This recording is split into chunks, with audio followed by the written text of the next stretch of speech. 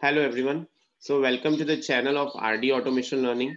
And today we are going to cover the frequently the top most interview questions asked in the manual testing interview.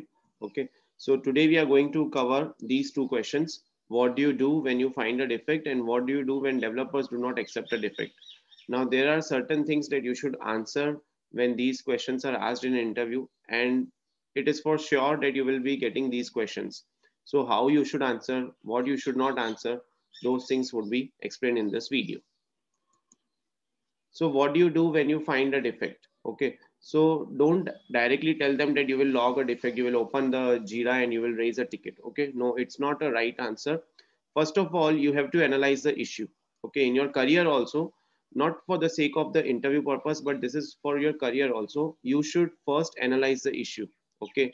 It might would have happened that you would have performed some wrong steps and that is why the end result is not the expected one. Okay? So first of all analyze the issue. Identify the scenario. Identify the steps behind the issue. Okay? What was the flow? What was the test case? What was the exact step of the bug? Okay? Then you can go for checking the logs as well.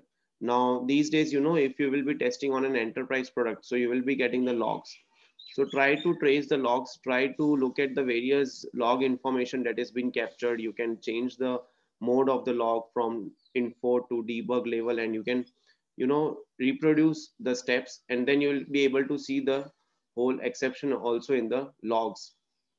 So it is very necessary that you troubleshoot the logs because these days, you know, testers are not just expected to find a defect, but they are also expected to get the root cause analysis even if you're not able to get the root cause analysis, at least try to give maximum information to the developer. Okay, so this would create a good impression of the entire team on your part. Because they'll they'll come to know okay this person is a genuine person and he is giving full information with the logs.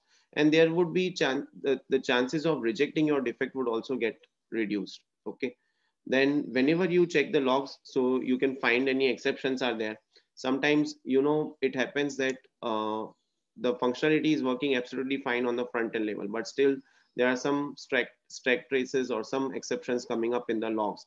So it as a tester it is also very information that it is very important that you keep checking the logs and you give each and every information to, to the developer okay?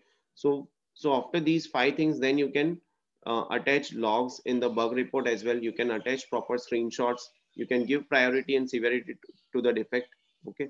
So these are all the things you should tell it to the interviewer okay?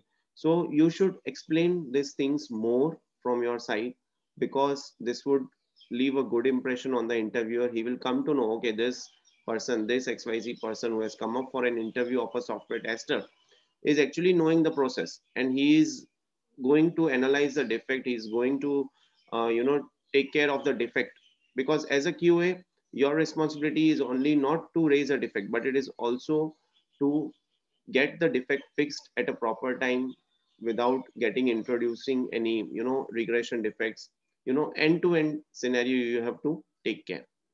So this is how you will explain this uh, if this question is asked in an interview, okay? Now, what will you do when developer does not accept defect? Okay, now this is a very straightforward question but uh, generally people answer in an interview that they'll fight with the developer they'll go and complain to the manager about the behavior of the developer.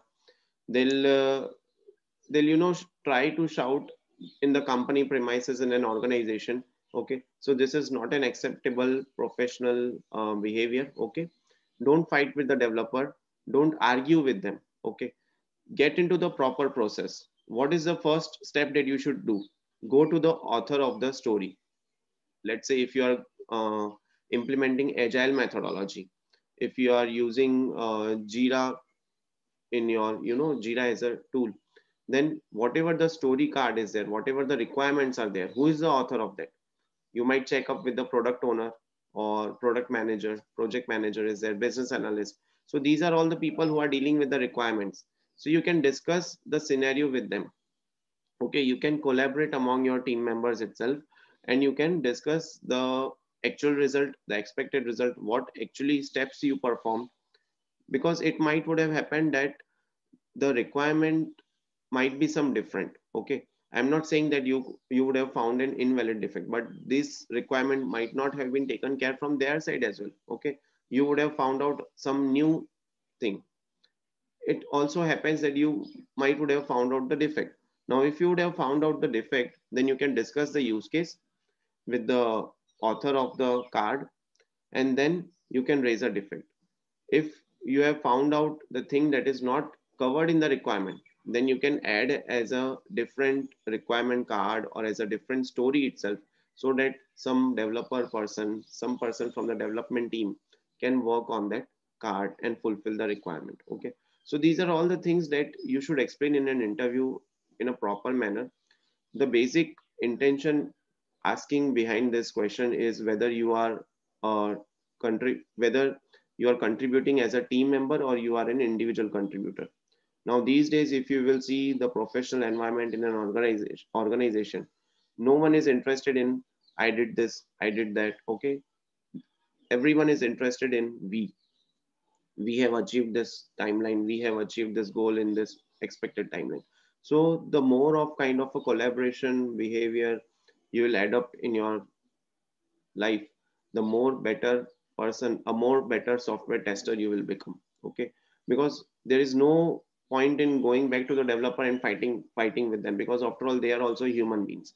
And these days you know it is not like developer is just coding and tester is just testing.